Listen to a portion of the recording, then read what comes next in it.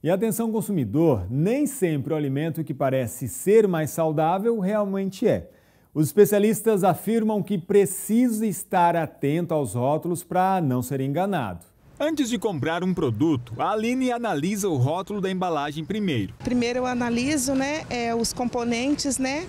Aí depois eu olho a fabricação, a data de validade né, e os ingredientes. Um cuidado necessário, ainda mais diante de tantas opções. É muito comum encontrarmos nos supermercados embalagens de produtos que vendem uma ideia de que aquele determinado produto é saudável e que vai contribuir com a saúde do consumidor mas nem sempre o que parece realmente é. Por isso, é importante prestar bastante atenção antes de levar para casa.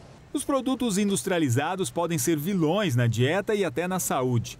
O suco de caixinha, por exemplo, tem grande quantidade de açúcar e conservantes e não possui mais a vitamina das frutas. Quem costuma comer barrinha de cereal, é importante ficar atento ao rótulo para verificar as quantidades de açúcar, gordura, sódio e conservantes. O refrigerante zero também traz risco à saúde por causa dos produtos químicos que possui. Até o peito de peru é considerado pelos nutricionistas um vilão, por causa do alto nível de sódio e até de substâncias consideradas cancerígenas. Por exemplo, um, um chocolate diet. Você reduz a, o açúcar dele, só que aumenta a gordura. E aí já não compensa. E os preços deles também são muito acima dos que, do que os dos normais, produtos considerados normais. E no caso, o pre, o, a questão calórica também diferencia. Às vezes um diet ele tem mais caloria do que o um normal. E a barrinha de cereal é uma das principais enganações da indústria. Por quê? Ela é rica em gordura, ela é rica em açúcar, mas está lá, cereal. Por quê? Porque ela contém fibras dentro da sua composição e eles colocam como se fosse um cereal. E aí, cara, não dá certo. Trocar a refeição por barrinha não tem como. Pega o produto, olha a tabela, vê os descritivos. Os primeiros, os primeiros nomes que tem na tabela nutricional do produto é o que tem maior quantidade.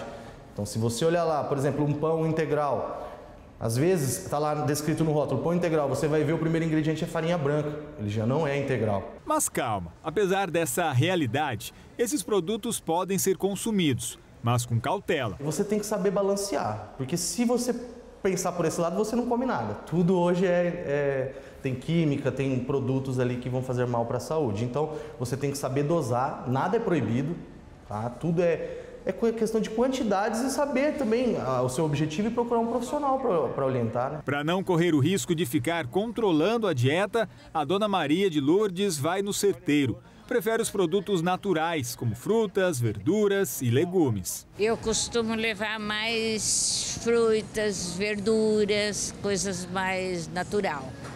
Esses, esses embutidos, esses não, produtos? Não gosto. Por quê? Ah, eu acho esses assim melhor, né?